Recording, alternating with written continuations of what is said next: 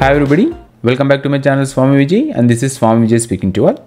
In this video, I am going to explain job application which is part of your writing skills in class 12 examination. So now without any delay, let us begin this video. But before I begin the video, as usual, if you are not subscribed to my channel, please subscribe to my channel so that you can receive latest updates and information the moment I upload videos on YouTube. Now on screen, you can see this is the format of a job application. This format of job application has different different formats. I am going to discuss here two important ways or formats of writing a job application. You can use any one of the formats according to your convenience and according to your condition.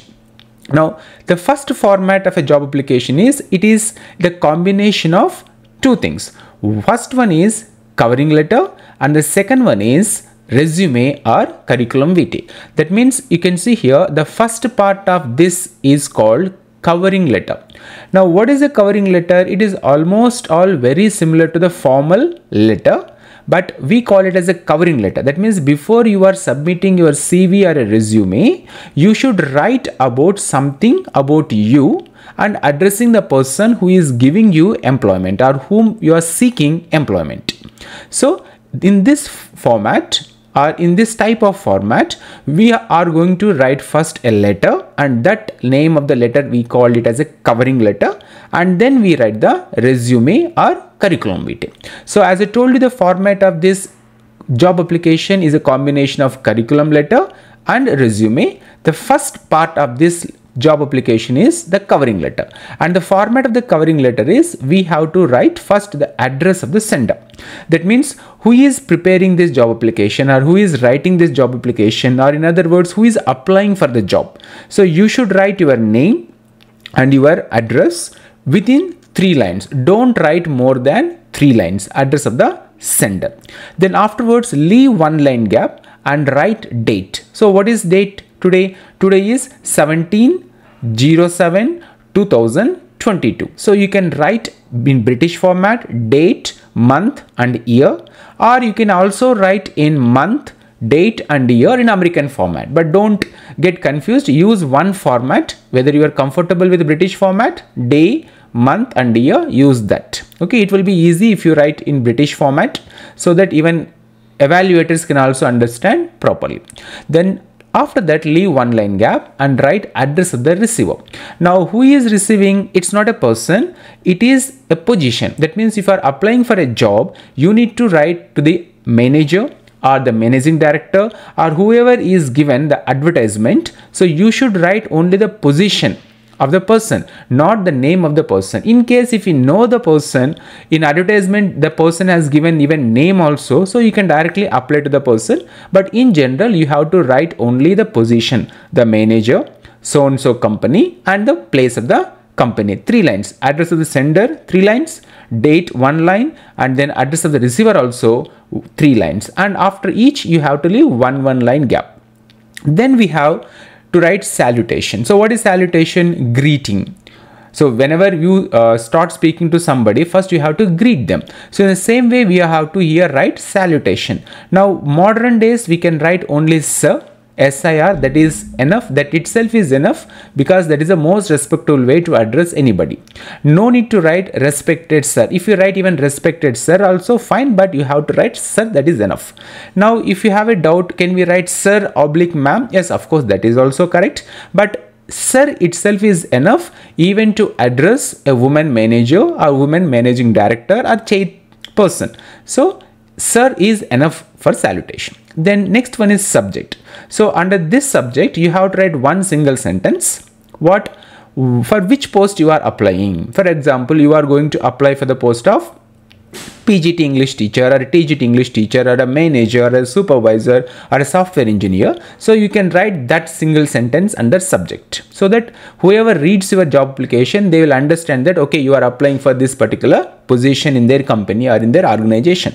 But one thing is whenever you are writing the subject, always start the subject using noun don't use verb form that means if you want to write write application for the post of PGT English teacher in your school.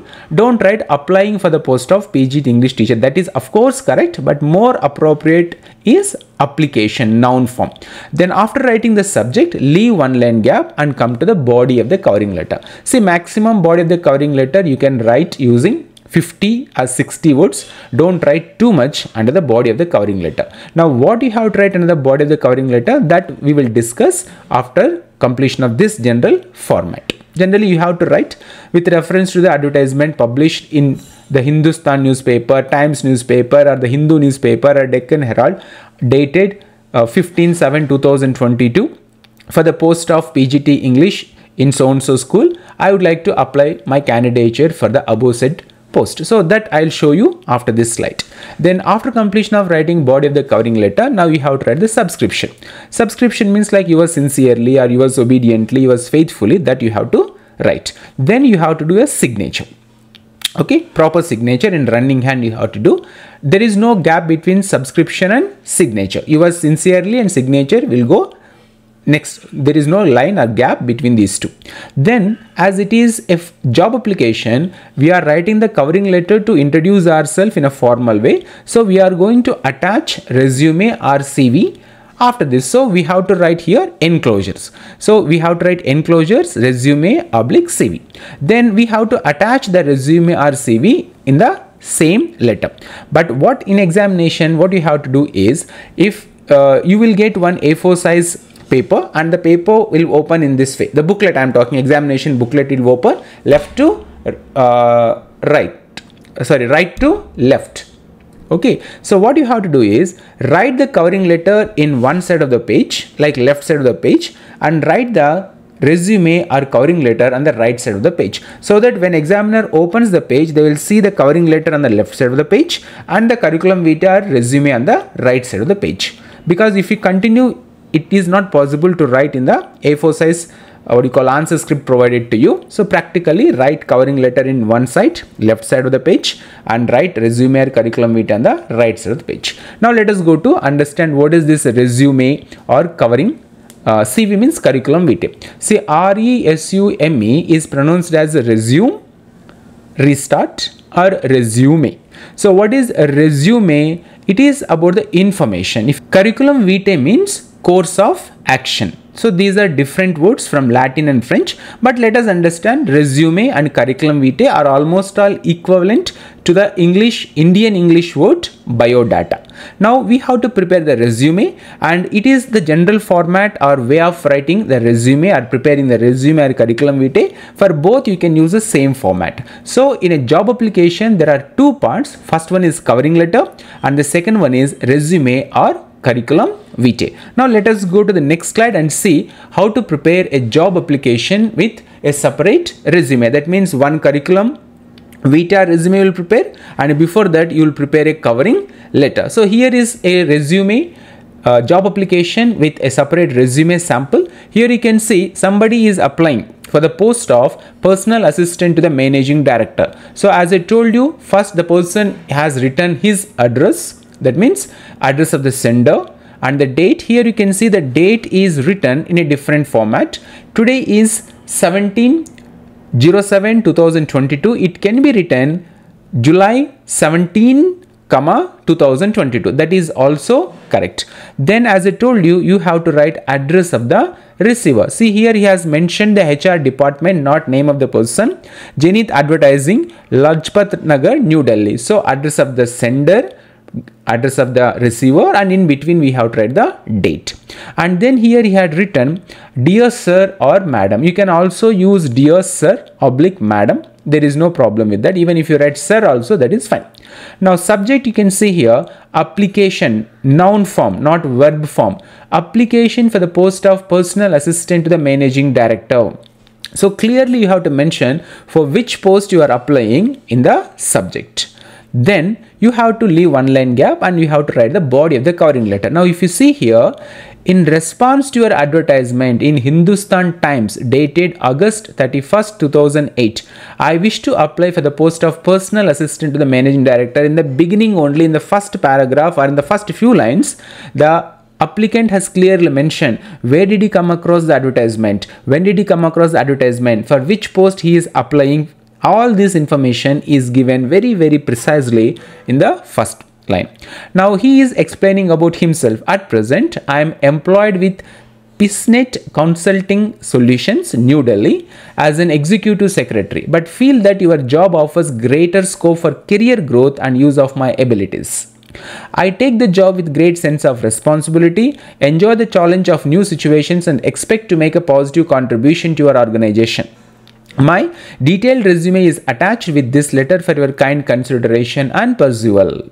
Hope to get an early interview call thanking you. You can use thanking you next line also or you can even delete the thanking you word. So this is the way the covering letter should be prepared First, where did you come across the advertisement? When did you come across the advertisement? And for which post you are applying for. Then you have to tell about yourself. Don't need to barge about yourself, but at least you have to tell some information about yourself in the covering letter. Then you have to write that you are suitable for the post and awaiting interview call. And then you have to end with subscription yours faithfully. And then uh, the name of the person you can write here or you have to sign in the resume or in the covering letter. Let us see here some annotations I can use I suppose. Okay, laser pointer. Okay, and then finally you can have to mention resume. Whether they asked you to write resume in the question, you use resume. If they ask you to write uh, curriculum vitae, you can mention the curriculum vitae. So this is the format of writing a covering letter and this is the example covering letter. Now let us go to the resume or curriculum vitae. As i told you all these have same format so you can use the same format. It's one of the formats. So in resume or curriculum vitae after writing the covering letter you have to write in this format. Divide your page into two halves. Middle center draw a line. Prepare this box and you have to write this much information. 13 14 fields if you write that is enough because 3 marks for covering letter and 3 marks for your resume or curriculum vitae. Now what you have to include in this resume? Your full name. Write your full name with your initial expansion also. Then next you have to write father's name, mother's name. Then how do you write the father's name, mother's name and full name? You should write your name in capital letters, your father's name in capital letters and your mother's name also in capital letters okay and one very silly mistake many times students commit which i found in my uh, experience with my experience that sometimes the students fail to write or enter this apostrophe s. If you don't enter father apostrophe s then it will become plural and it would be very awkward if somebody checks your papers even with the same mother's name. Then you have to write sex male or female. Then you have to write your date of birth exactly write the date of birth in british format and you can even mention how old are you in that column. You have to draw this kind of box horizontal lines and vertical lines. Then you have to mention nationality then marital status whether you are married or unmarried. Don't write like this facebook status single uh, like engaged. All those things don't work here. Then you have to write the educational qualification. Now, if you see the right side of this box in the educational qualification, you should write serial number, course, percentage of marks. Of course, you can include other columns also, but three is enough. And when you write this education qualifications, you should write in reverse chronology. That means the highest qualification should be written on the top and then next qualification and then least qualification. Generally, we consider post graduation, MSc, MCOM considered as the highest qualification that if you have PhD then you can write the PhD. So you need to mention the quotes and then percentage of marks you secured. You can add even year of passing also if the space is there. Then second is graduation or UG under graduation and then percentage of marks. Then third one is plus 2 and the percentage of marks. Don't write more than 3 education qualification that is not required. Then you have extra qualifications or you can also make it like additional qualifications. For example, for the post of teacher, the additional qualification can be BEd or MEd or extra qualifications can be even computers course like PGDCA course can be written under extra qualifications. Then you have to write your postal address. See already you have written your name on the top your father's name on the top and mother's name on the top. So here you can write straight away starting with your house number or dot number or flat number and write your address simple within three lines. Don't write one single entire paragraph for this. Postal address means simple. It should be straight with ends with pin code.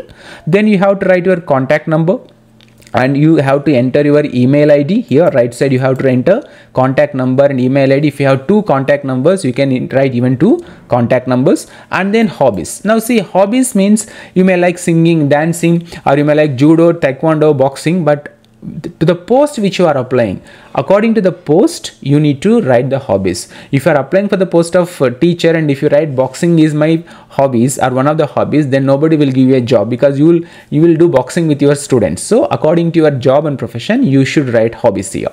Then of course you have to write salary expected how much salary you expect in the job. But if you are a first time applying for the job don't mention salary expected or if you want at least you can write negotiable. That means once the job is confirmed then we can negotiate how much salary you give how much i want. All those things can be done after the interview or during the interview.